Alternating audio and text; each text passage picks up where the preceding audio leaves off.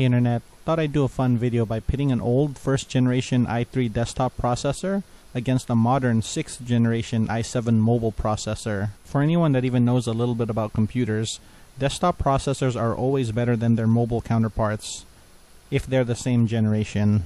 That's why the i7-6700K will always mop the floor with its top notebook counterpart, which is the i7-6700HQ. Hence why those ultra high-end gaming laptops pack in desktop processors. With that being said, can an old i3 550 desktop take on the modern i7 6500U mobile? Let's first take a look at the basic specs of the processors. The i3 came out in 2010.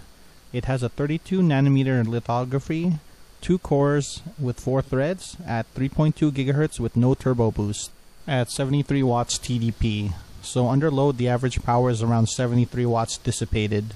With 6 years worth of architecture upgrades, newer i3 desktop processors are definitely more efficient and perform better. No doubt the current generation desktop i3s should crush this one. Next is the i7-6500U. Most of the essentials are the same as the i3, 4 MB cache, 64-bit, but the lithography is less than half of the first gen i3 at 14 nanometers. Performance-wise, since it is one of the more power-efficient mobile i7s, it's not a 4-core 8-thread processor. Instead, it's a 2-core 4-thread, like an i3, and it's clocked lower at 2.5 GHz. Newer generation Intel processors also have turbo boost, which temporarily closes the gap in speed.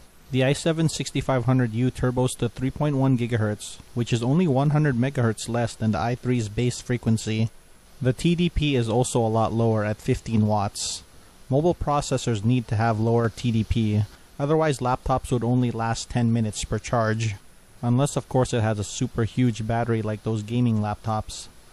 I'm sure for those, half the weight is from the battery alone. On paper, the desktop i3 should win over the mobile i7.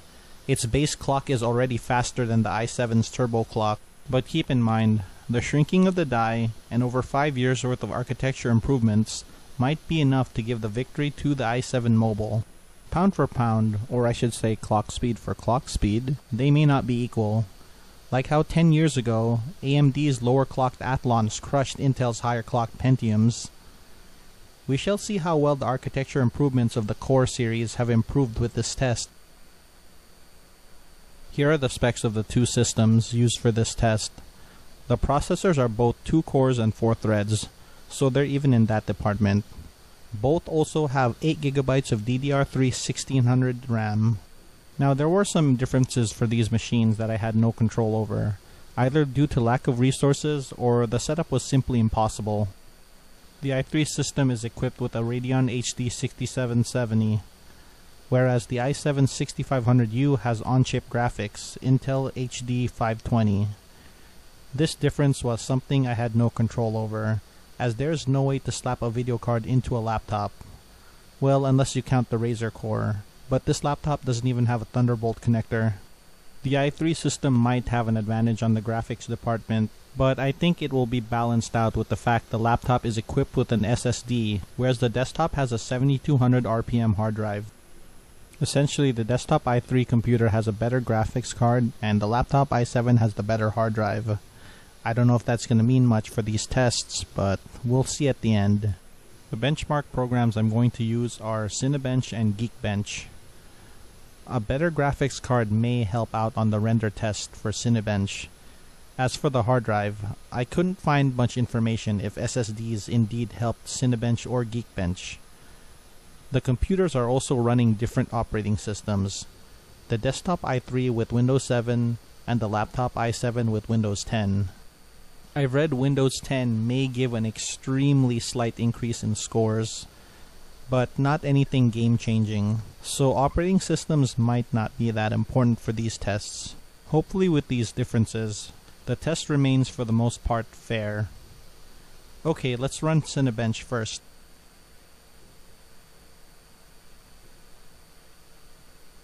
I sped this up a bit the laptop i7-6500U seems to be faster at rendering than the i3 desktop.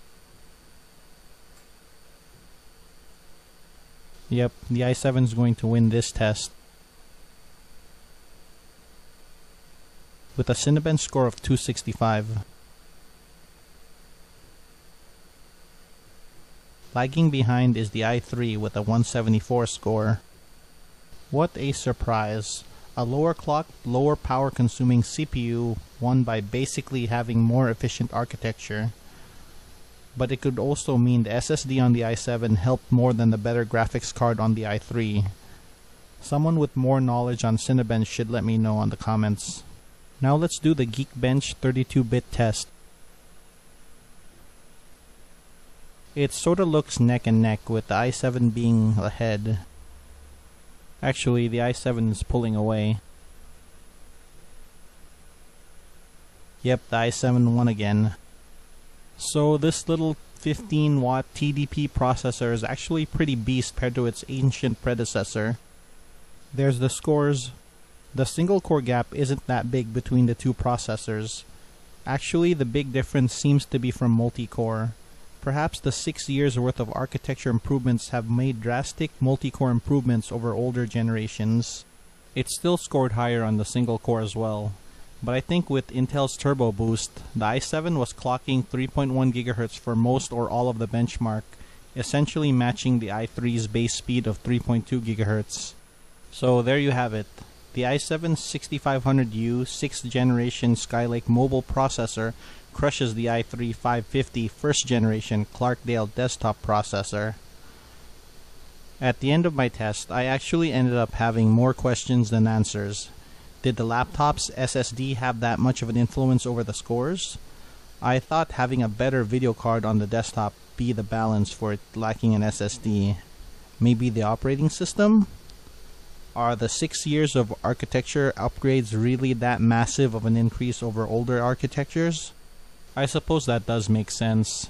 Six years before the first generation i3 were Pentium 4s, and for those of you messing with computers during that era, you know how terrible and hot those Pentium 4s were. A benchmark between a first generation i3 versus a Prescott Pentium 4 would be a beatdown.